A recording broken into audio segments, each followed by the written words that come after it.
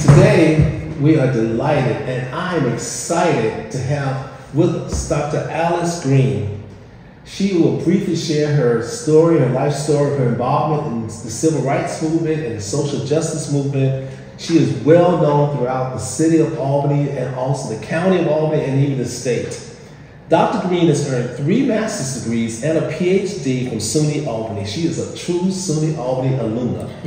Those degrees include a BA in social science, an MA in secondary education of social sciences and English, and a master's of social work from the University of Albany at uh, SUNY Albany, and a master's in criminal justice.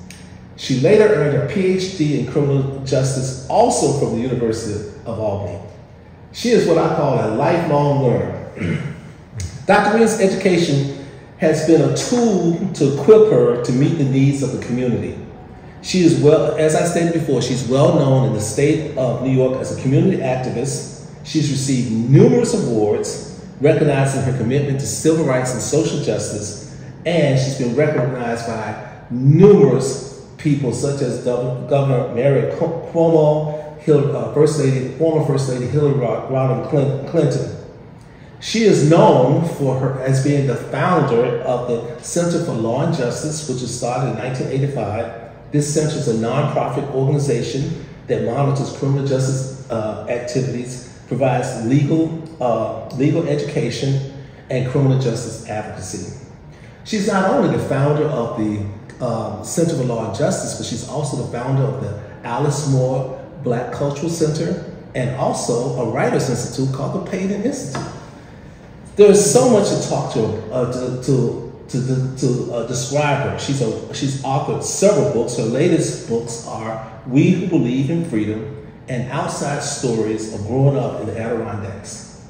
So, as I said before, we're delighted to have her with us, and so we're going to begin with a few questions so she can tell us about herself. Dr. Green, could you tell us, um, I, how did you how did your family end up in the Adirondacks?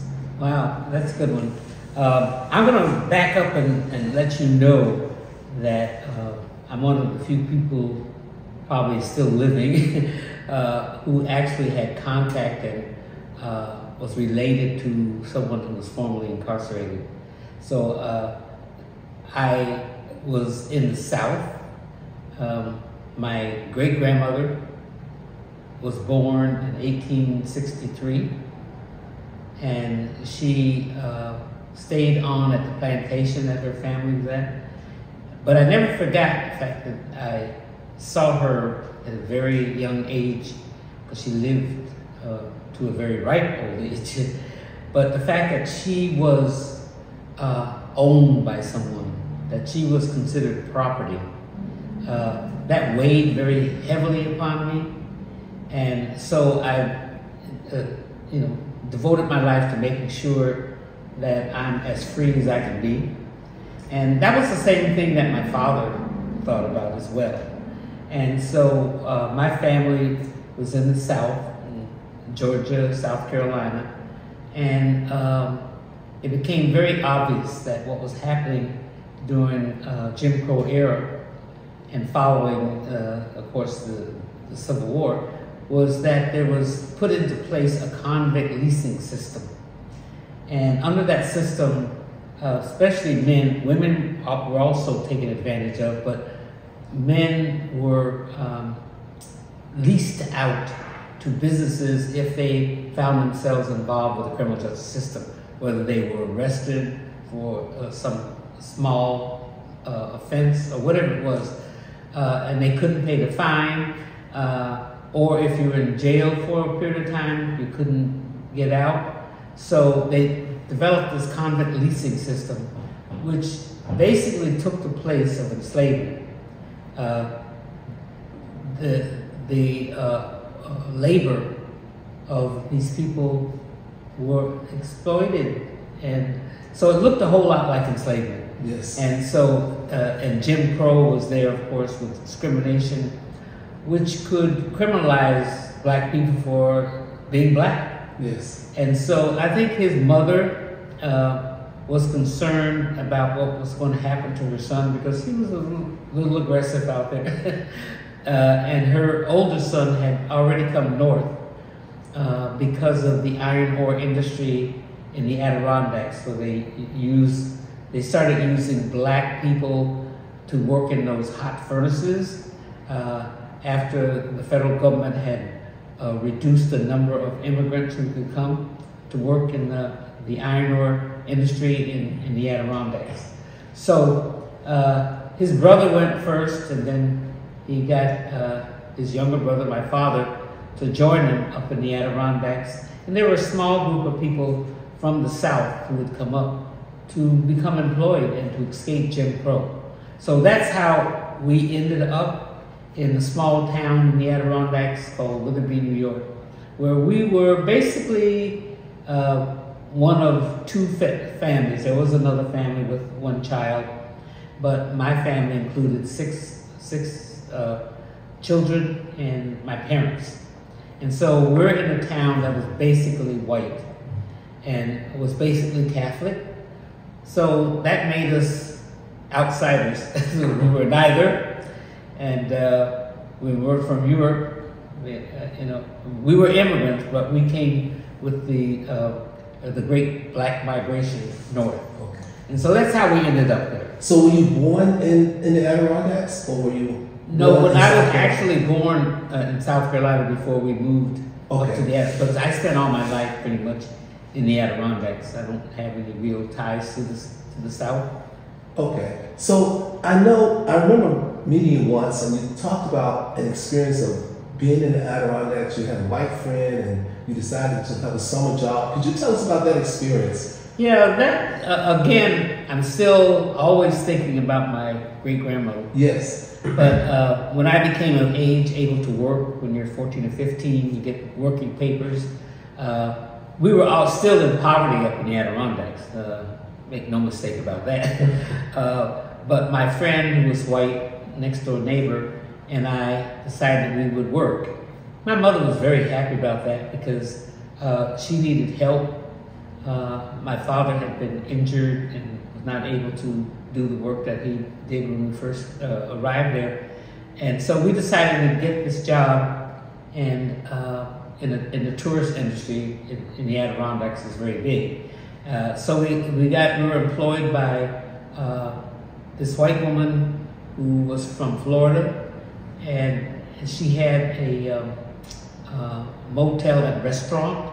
And each year she would come up with her uh, uh, two workers, a couple from the south, and another. There was another uh, young black man, and so we were just delighted to have this this job, our first job, our first time away from home, uh, and we thought we would have great fun as well, living with each other. We had, you know, and so uh, when we got to our uh, to the Claudius's uh, motel and, and restaurant, uh, the owner, Mrs. Claudius, uh, came to greet us, and she lived in a spacious apartment, you know, on the premises of this uh, business.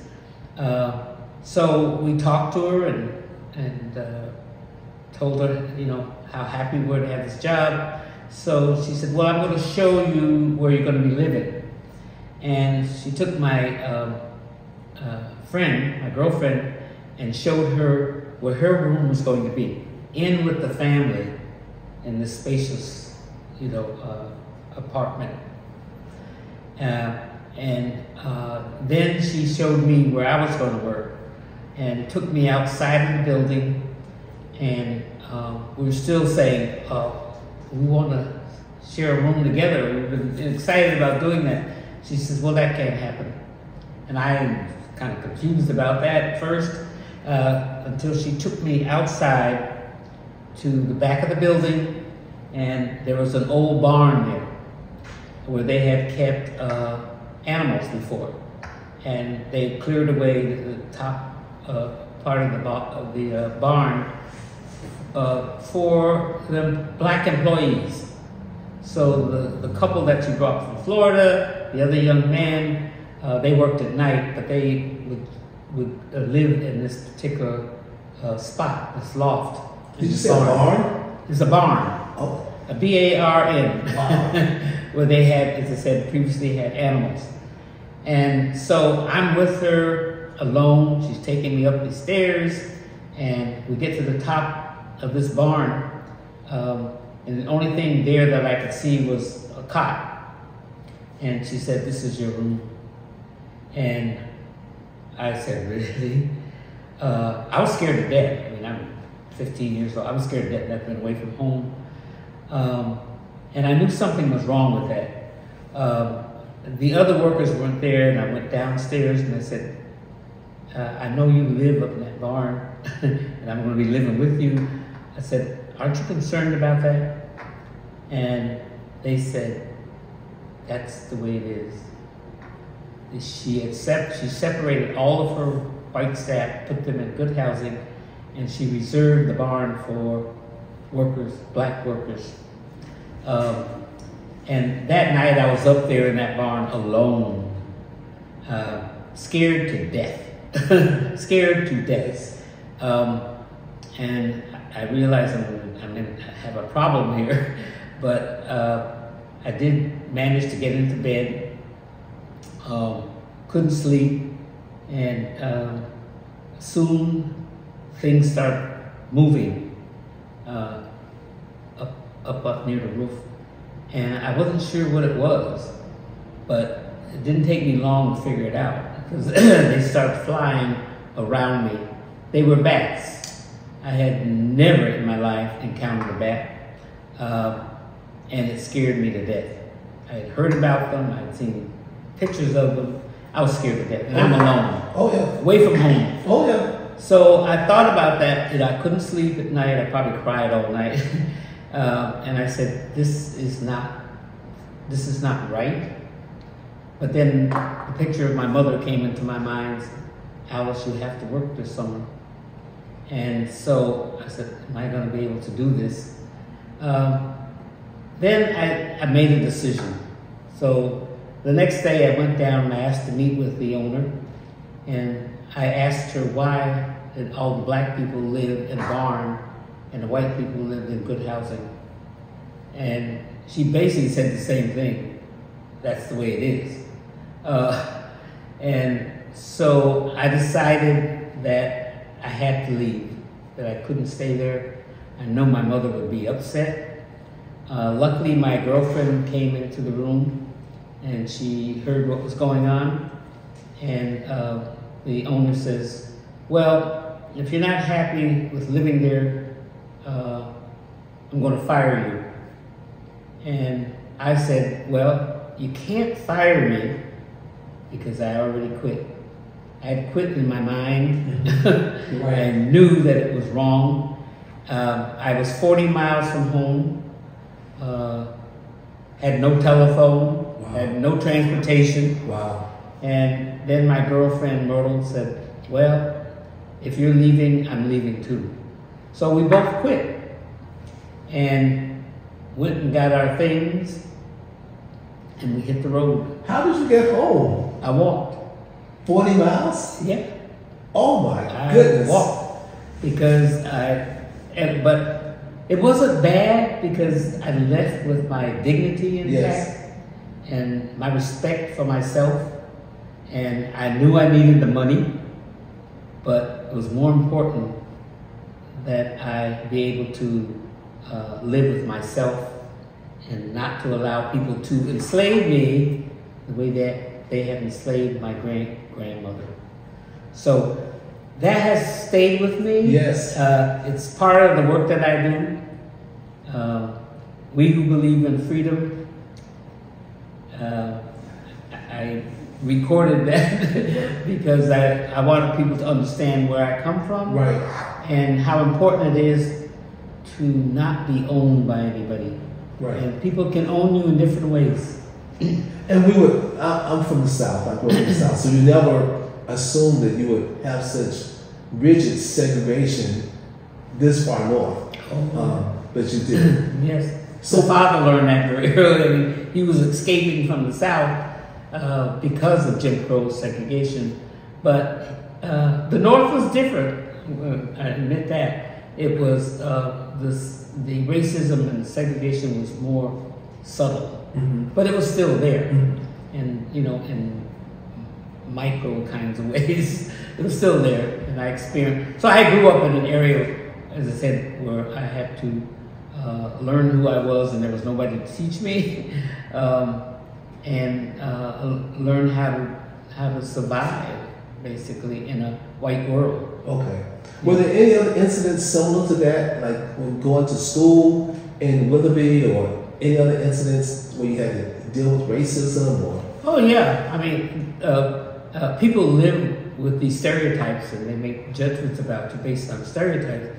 Being in a, a community of white people, uh, all of them from different countries, mo- mostly Europe, Poland, Italy, France, you know, uh, they were diverse in terms of their ethnicity, but uh, a friend of mine that I grew up with reminded me that during that time, if you, uh, if someone different came into the community that wasn't uh, from any of those countries, especially black people, that they were considered outsiders. It's like the title of my second book there. Yes. Outsider. We were considered outsiders, and um, we had to live with the stereotypes of being black. And unfortunately, in school, there was no way for me to learn any of my history or who I was because you know some of the teachers were great, but they didn't know who I was either. and so um, we survived, but but not socially. I mean, we had friends, um, but when it came to socializing, we were outside. My brother was uh, a great athlete, and that was a positive because uh, schools up in those in those small towns uh, glorify uh, athletes Mhm. and sports, and so they were able to survive very well uh, as long as they were doing sports. yes. But he was so popular that they voted him uh, king of the junior prom. Wow. But no one would, he couldn't get a date. Wow. No one could go with him. Uh, and I also had to live with the stereotypes of being, people thought you were uh, uh, ignorant and Mhm. you know, without any kind of intelligence whatsoever. Um, and again, I go back to my great grandmother. Yeah, she uh, was not allowed to learn how to read and write. Uh, my father was illiterate. Uh, he did not have the opportunity to read and write. So, but they did impress upon my, my uh, grandparents, did impress upon me, my mother, that education was important. And uh, so I always believed that. And so I had to, had to almost fight for people to recognize that I did have some intelligence, you know. And I ended up uh, graduating the top of my class. Wow. Wow. Now, how were you? I know you said your parents were poor, uh, working class family, and I know we didn't. We don't. You didn't have all the benefits of going to uh, scholarships and all these other things that we can get to go to college. Now, how did you end up going to SUNY Albany? How Yeah, I had, I, um, well, as I said, I graduated at, at the top of my class, so I got a small, um, one year, uh, scholarship, a couple hundred dollars whatever. Uh, so there was that. My parents had absolutely nothing to give to me. Mhm. And so when I first came to SUNY, um, what I had to do was to find a way to uh, live. and luckily, I was able to find a family that allowed me to live with them and in, in exchange for work, you know, taking care of their children and that kind of stuff. So that I was able to do when I, when I first came. Um, and, um, and I did work other little jobs and then there was a, a group of people at, in the church that uh, I grew up in. Mhm. I said there was only everybody was Catholic, but there was one uh, Protestant church, a Okay. Presbyterian church, Yeah. and there were some really nice people there. So when I got ready to go to college, I said, "You belong, you belong in college," and so they gave me a small grant uh, that paid for, you know, for uh, school expenses, and uh, they all put money together for. And this is only for a year. Then Yes. after that, I had to had to figure out myself how to how to do this with loans and all that kind of stuff. Yes. So I, you know, I, I survived, but it was it was sometimes difficult. Yes. Yeah. And that's what I think the story, the one of the wonderful stories for people, uh, to, for us to hear from people like you, is despite the difficulties, the, the difficulties didn't hinder you from getting your education um, and from pursuing it. Even though you had to work and all this other stuff, you still felt compelled to get educated. And that's an amazing story. Right. So, what got you involved in in in the social justice civil rights movement? Because I, I, it seems like your grandmother has played a role because she was born into slavery. Your father, who was born into the whole Jim Crow uh, uh, era, uh, has played a role. Uh, but and then there was this issue when you were a young person trying to get a job at this camp at this tourist location that didn't work out. What was what was the thing that really propelled you to get involved in the civil rights movement? Well, one of the things I didn't learn very well was uh, discrimination and uh, how people, uh, as I said, use stereotypes to make judgments about me. So I, I was quite aware of that. So when I started out as a teacher, and I and you know I uh, worked in, a, uh, I was discriminated against first of all from getting a job. I was going to stay in my hometown with my with my parents. Wow, and right. Yes. And help take care of them. Right. So uh, there was a position open at the school, and um, I got discriminated against. They, they said, you know, you, they gave this excuse that uh, you, uh, the student would be too familiar with you. I don't. That doesn't make any sense to me. But at any rate, that's that's the excuse that they gave me. So I did work. Um, start out working in an urban community in Rochester Oh, uh, it, with, with uh, in, in a very poor urban community, and so my students obviously uh, reflected that, that that environment. Uh, so I realized that I could identify with them, and but I wanted to know more about them. That it wasn't a matter of just being in the classroom, because they had lives outside the classroom. Yes. And so I got involved in their personal lives. I visited all my students' uh, families wow, and knew who they were. wow. And so, uh, and understanding what was happening to them who were in poverty. So, um, you know, that really encouraged me to, to do more in the area of the deal, helping people deal with poverty.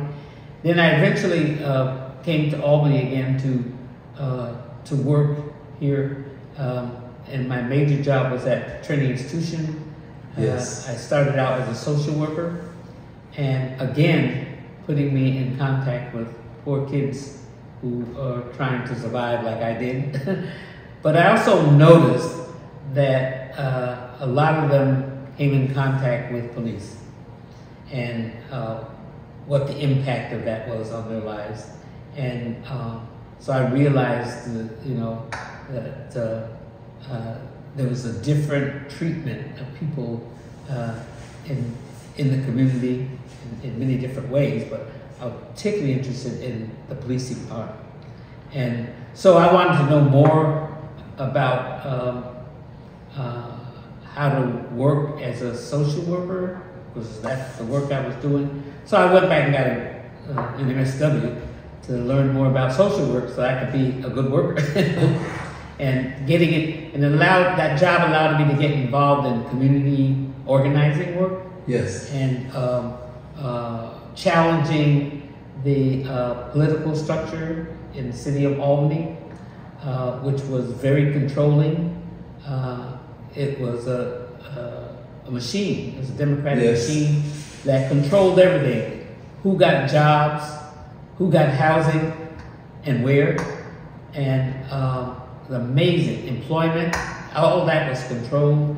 Um, the civil rights movement was, you know, had been going on, and uh, so uh, I, I did a lot of community organizing, making sure that people were given the rights that were they were uh, uh, entitled to, you know, whether it's voting uh, or just general civil rights. Yes. Miss Miss Ann Polk spoke about how the police were very discriminatory when she was uh, in her younger years Mm-hmm. toward African Americans, in particular African American men.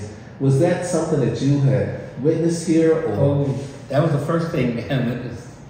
Uh, that the uh, the political machine had uh, identified certain people on the force to be controllers.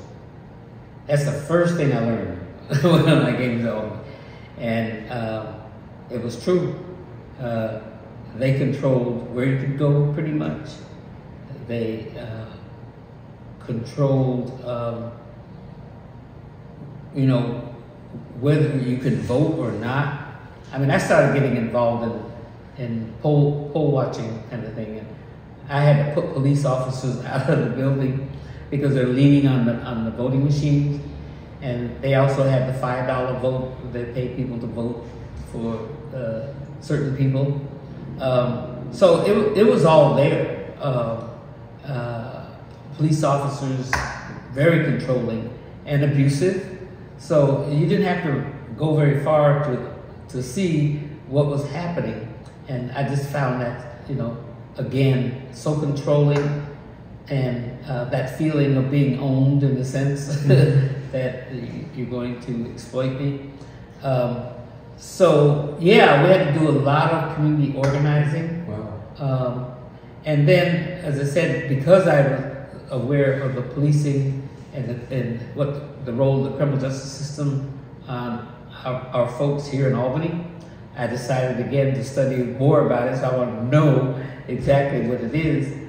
And so uh, I did go back and get another uh, a master's in criminology. So, and that put me involved, uh, uh, to get involved in a lot of the policing stuff, the criminal justice stuff, and eventually incarceration, which is where I spent a lot of my time because I was very uh, concerned that black people were um, disproportionately arrested and incarcerated, which has an, a, a damaging impact on the lives of not only their families but our communities. And so that's how I, you know, got involved in, you know, trying to uh, establish review board um, uh, and, and, and, and dealing with uh, uh, trying to to uh, discourage police from brutalizing people. All of those things I got involved in, and um, pretty soon I decided I also need to be involved in uh, in prison work. So I got involved in that because a lot of our young people were coming back from prison. Uh, not only were they being put in, but coming back from prison and having uh, certain needs. I mean, when you when you're incarcerated in uh, this society here, uh, it's almost permanent. Mm-hmm. You know, even though you might have a prison sentence, when you get out, if you can't live in housing, if you can't find employment because you have a uh, conviction record, Mm-hmm. or you can't take advantage of educational grants uh, because of your, your status as a formerly incarcerated person, that you couldn't vote um, while you were in prison, and only recently can you vote while you're on parole. so um, that I knew that's where I wanted to, um, you know, put most of my energy into dealing with uh, the criminal justice system, because and, and, and running into and learning from incarcerated people. That's where I got my education. I mean, I had the degrees, but they didn't mean a thing. it was when I started working uh, in the prisons with uh, incarcerated people that I really understood, that I learned the uh, what the role of the criminal justice system was in the lives of black people. And so that's what I've been doing. That's why I started the Center for Law and Justice uh, in 1985 uh, to monitor policing, to uh, work to make changes in the criminal justice system, uh, and to help people who are threatened with with uh, incarceration and also work with those who come back into the community. But basically trying to change the system Mhm. as much as I possibly could as, you know. Can you think of anything um, related to your work in reforming the criminal justice center, uh, system, um, or even your social activism that has brought you the most joy? Wow. That's.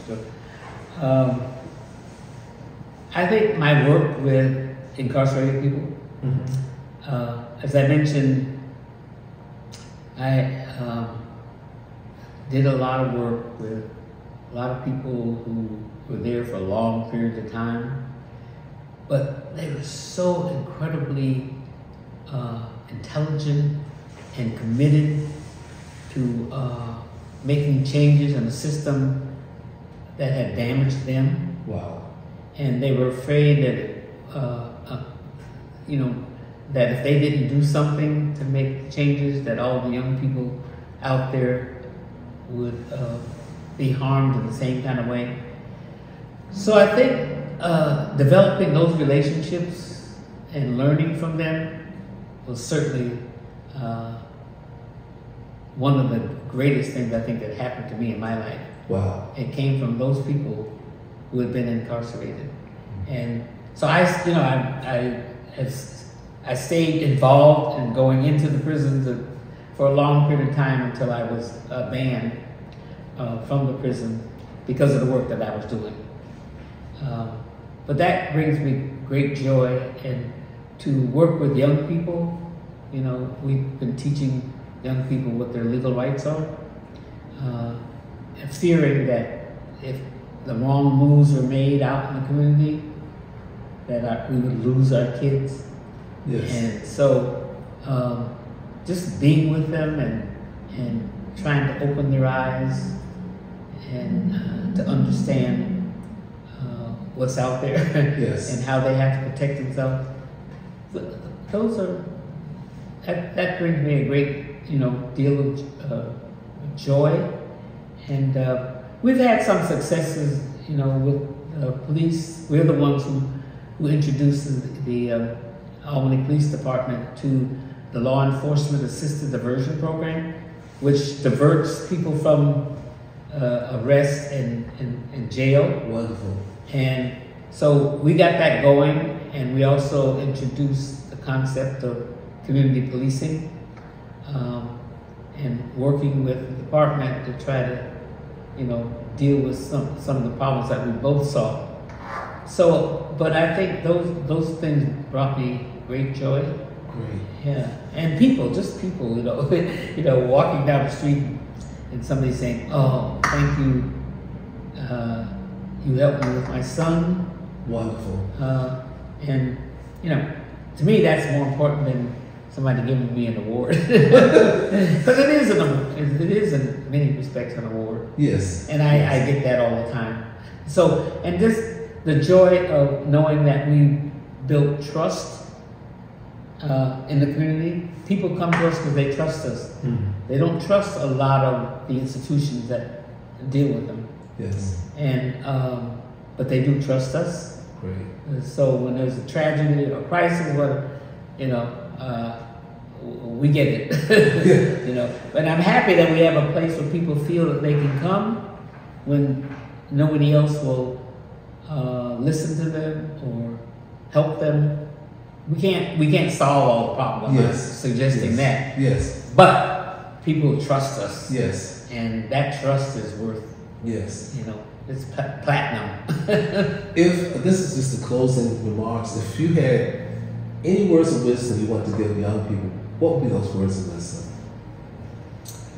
Well, um, uh, in the book, I talk about a number of things, and I always go back to uh, not allowing people to exploit you, to own you in a certain kind of ways, to feel, you know, to value the lives of everyone. Every every life is important. So, uh, you know, learn how to do that, but uh, also do good work. I mean, everybody has to work and make a living. I understand that, and that's not what I mean by not- being owned. but you can work in a, in a job that you know might be uh, destroying other people. Maybe it's not a good place to be. You know, do your work, but don't allow people to own you. And that's always circling around in my head. that freedom is more important than anything, and it takes a long time to, to get to that point. Long time. So you got to be prepared to work uh, to achieve it. And who knows when it'll come, but we have to do something.